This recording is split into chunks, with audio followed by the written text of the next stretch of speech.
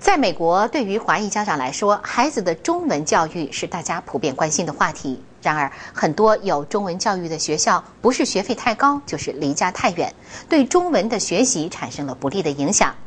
帕萨蒂纳学区菲奥的小学是一间公立小学，他们所推行的沉浸式中文教育，更是广受热爱中文的家长们的赞赏。来看记者发回的报道。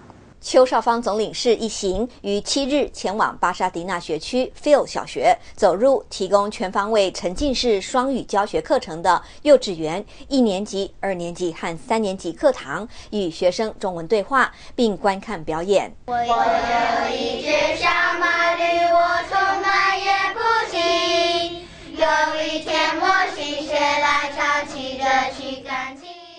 需要一些教材啊，还有一些教具啊，我们做一些力所能及的。菲欧小学百分之九十为非华裔学生。两年前启动这项由美国教育部拨款补助的沉浸式双语教学课程，该项目循序渐进，幼稚园中英文教学比例为百分之九十和百分之十，一年级百分之八十比百分之二十，二年级百分之七十比百分之三十。三年级百分之六十比百分之四十，四年级开始采取中英文对版教学。我们以前在家里每天讲，那他们开始上学以后就不讲中文了。